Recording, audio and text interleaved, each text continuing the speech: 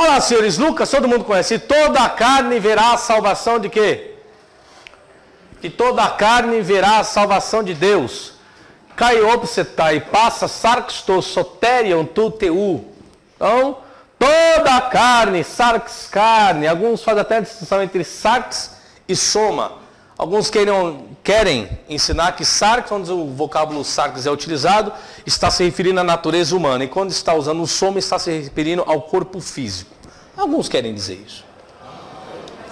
Bom, aí a referência que ele está fazendo é Isaías 45, que diz assim: A glória do Senhor se manifestará e toda a carne haverá, pois a boca do Senhor diz. O que está dizendo esse versículo aí?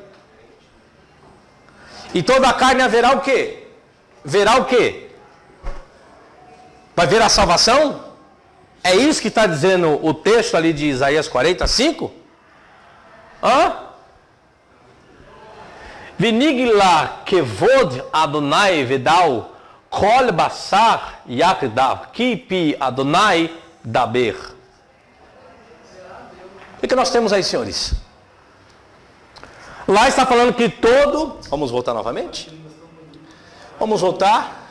E toda a carne verá a salvação de Deus, certo? Gravem isso, senhores. Toda a carne verá a salvação de Deus. O que, que ele está dizendo aí mesmo? Como que é? Que ah, parafraseou, melhorou agora, né? Todos os seres humanos verão, todos os seres humanos verão, e toda a carne verá a salvação de Deus. Tem diferença entre ver e participar? Tem, né? Ah, tá bom. Agora, coloca texto, texto. Vamos chegar lá. E toda a carne verá a salvação de Deus. E a referência que ele faz é Isaías 40, versículo 5. E está dizendo a mesma coisa lá? Agora o Senhor se manifestará a toda a carne. E toda a carne haverá. Verá Verá o quê? E não a salvação.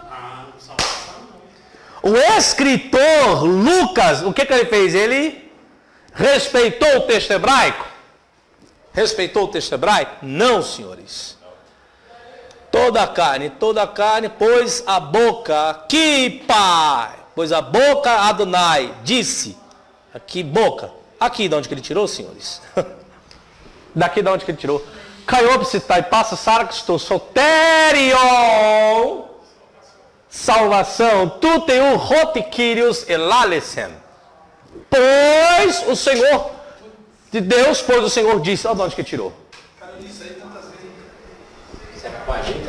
De novo, senhores. Então o texto hebraico não diz nada disso que Lucas está se retratando. Então, se a Septuaginta é um conteúdo pagão, quem acredita assim, então pode pegar essas passagens do Novo Testamento e jogar fora. Porque essas passagens, todas que estou fazendo menção aqui, está vindo tudo da Septuaginta.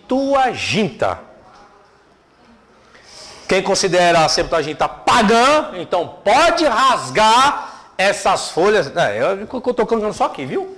Porque se eu colocar tudo, você vai meter fogo em tudo. Vai meter fogo em toda a Bíblia. Se você considera a Septuaginta um trabalho pagão.